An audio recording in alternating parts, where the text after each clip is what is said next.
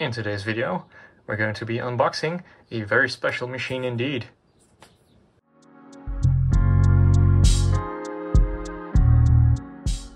Hello everyone, it's been a while. My health has not been exactly great the past couple of months, so the channel's been sort of, yeah, been put in deep slumber. Sorry about that. But we've got something to uh, take a look at today.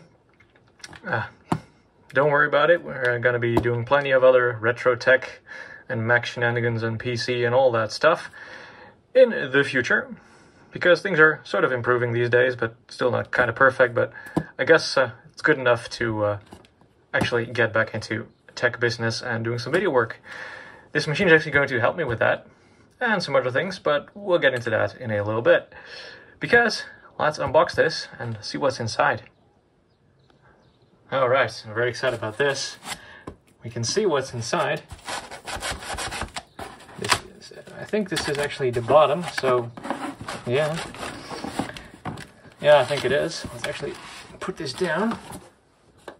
There we are. What a beauty. I'm assuming, at least the box is beautiful. Yeah, that's a lot to take in ever since I got uh, my hands on the, my very first Mac Pro and even Power Mac G5 before that, I've been absolutely in awe with Apple's professional machines. They always look really good, they perform very well, but they're also very expensive. And so I've always been sort of seven, eight years behind on those machines because that's when they got cheap enough for me to afford them.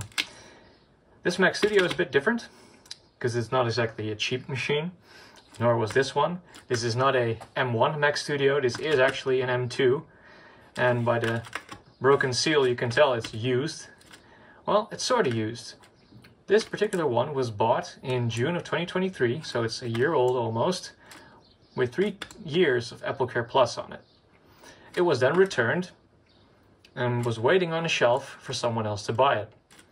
And that day was a couple days ago actually when I decided to just buy it outright, because it had still more than two years of warranty on it, I figured, well, with it being a very good deal, I got a very good discount on this, it's actually worth me for me to get it.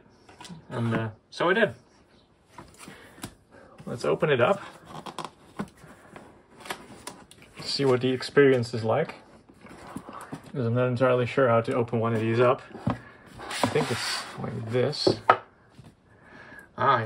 Arrows. And then here is the machine. Wow, it's very dusty. It's been in some kind of environment where there's a lot of very fine dust. Huh, guess we'll have to give it a clean, but that's no, no big deal. Very chunky boy compared to my Mac Mini because I already have a Mac Mini with an M2 Pro. This is the Mac Studio M2 Max. It is the base model, which means we have an M2 Max, 32 gigs of RAM, and a 512 gig SSD. And in terms of I.O., we get an SD card reader, UHS 2, two USB ports on the front, USB-C. On the back, we have four Thunderbolt 4 ports, 10 gigabit Ethernet, Mickey Mouse for power, two USB-A ports, HDMI 2.0, and an audio jack and a power button. And this is all ventilation. Yeah, this definitely needs a cleanup. This is disgusting, actually. So yeah, very nice. Very heavy machine. In typical Apple Pro fashion, we get a black power cord instead of a white one. Very nice looking indeed. And that's it for the main compartment. Here we have some Mac Studio documentation. It's not complete. I can tell because it's there's barely anything in here. But that's okay. The most important thing is still there. The black Apple sticker. Oh yeah. That's definitely nice to have. Gonna use that probably. Alrighty.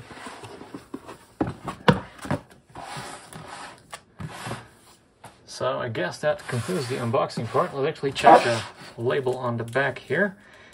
Yep. We have, let's get this in frame, a Mac Studio with Apple M2 Max, 32 gigabytes of unified memory, and 512 gig SSD. Cool. Let's get it cleaned up and uh, put some cables on it and see if it actually starts up. Because that would be useful, wouldn't it?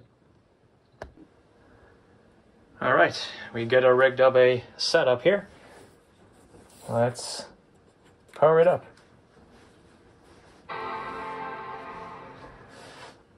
Now the question is whether my video adapters are all working because this monitor does not have HDMI. It only has VGA DisplayPort and DVI. So I hooked up a HDMI to DVI adapter. And should do something. Does not appear to want to play ball with that. Okay, sure.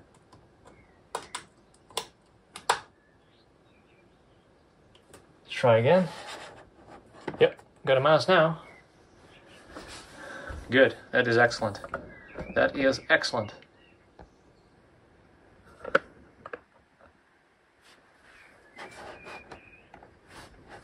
It also appears to have been upgraded to macOS Sonoma, so it's been at least around long enough to get the upgrade from Ventura to Sonoma.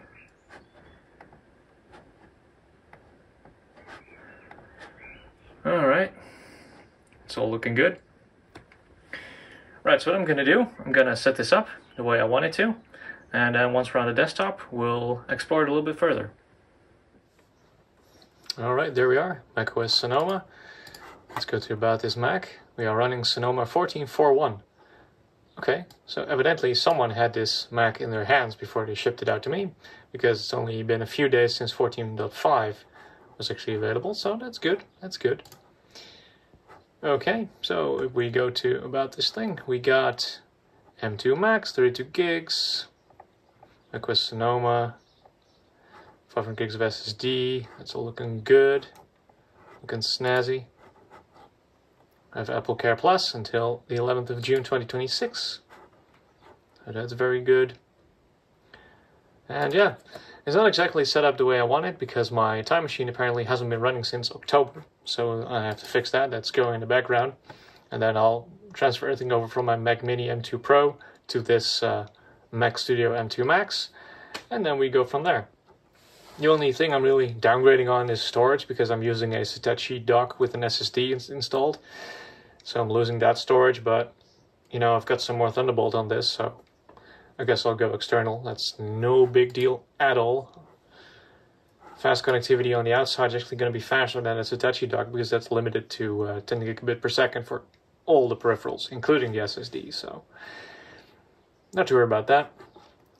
And uh, yeah, I guess that concludes this video because uh, I really need to spend more time with this thing it's brand new to me and I need to get it uh, set up, do some video editing on it.